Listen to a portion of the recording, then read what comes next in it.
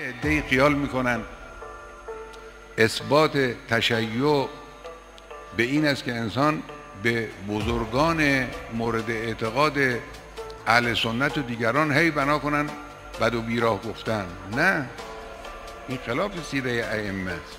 اینی که شما می‌بینید رادیوهایی یا تلویزیون هایی در دنیای اسلام به وجود میاد که کارش این است که به عنوان شیعه به نام شیعه به بزرگان مورد اعتقاد بقیه فرق اسلامی بدگویی کنند. این خب معلومه این بودجه بودجه خزانهداری انگلیسه. این شیعه انگلیسی است. هیچ کس خیال نکند که گسترش شیعه و اعتقاد تشیع و استحکام ایمان شیعی به این بد و بیرا گفتن و به این حرف زدن. نه نه خیر. اینا عکس عمل thank you